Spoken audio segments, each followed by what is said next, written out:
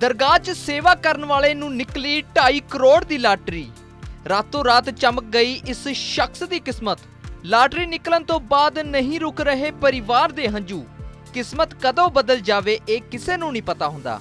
ਇਹ ਚਾਹੇ ਰਾਜੇ ਨੂੰ ਵੀ ਭਖਾਰੀ ਬਣਾ ਸਕਦੀ ਹੈ ਤੇ ਮੰਗਤੇ ਨੂੰ ਵੀ ਇੱਕ ਪਲ ਦੇ ਵਿੱਚ ਮਾਲਾ ਮਾਲ ਕਰ ਸਕਦੀ ਹੈ। ਤੇ ਹਰ ਇੱਕ ਇਨਸਾਨ ਆਪਣੀ ਕਿਸਮਤ ਨੂੰ ਚਮਕਾਉਣ ਦੇ ਵਿੱਚ ਲੱਗਿਆ ਰਹਿੰਦਾ ਹੈ। ਇਸੇ ਸੰਬੰਧੀ ਅੱਜ ਤੁਹਾਨੂੰ ਸ਼ਖਸ ਨਾਲ ਮਿਲਵਾਉਣ ਜਾ ਰਹੇ ਹਾਂ, ਜਿੱਥੇ ਰਾਤੋਂ ਰਾਤ ਇਸ ਸ਼ਖਸ ਦੀ ਕਿਸਮਤ ਚਮਕੀ ਹੈ, ਜੋ ਕਿ ਬਾਬੇ ਦੀ ਦਰਗਾਹ ਤੇ ਸੇਵਾ ਕਰਦਾ ਸੀ।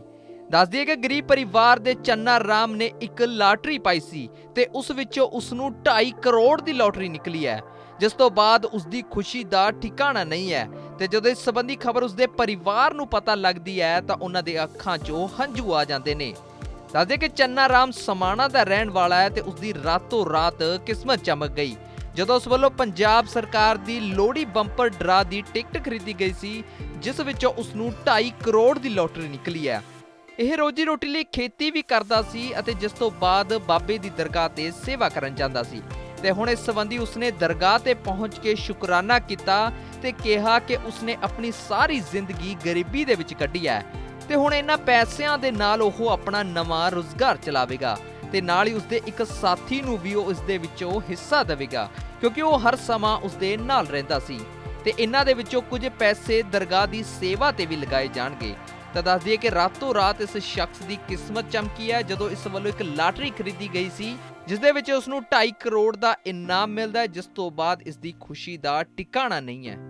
ਹਾਂ ਪਰ ਪਰਸੋਤਮ ਜੀ ਹਾਂ ਚੰਨਾ ਘੱਟੋ ਘੱਟ 5 ਸਾਲ ਹੋ ਗਏ ਮੈਨੂੰ ਭਰਦਿਆਂ ਨੂੰ ਜੀ ਲਾਟਰੀ। ਕਦੇ ਲੋਹਰੀ ਮੇਪਰ ਕਦੇ ਦੀਵਾਲੀ ਬੰਪਰ। ਤੇ ਐਰਕਾਂ ਫਿਰ ਮੇਰਾ ਕੋਈ ਮਨ ਜਿਹਾ ਨਹੀਂ ਸੀ।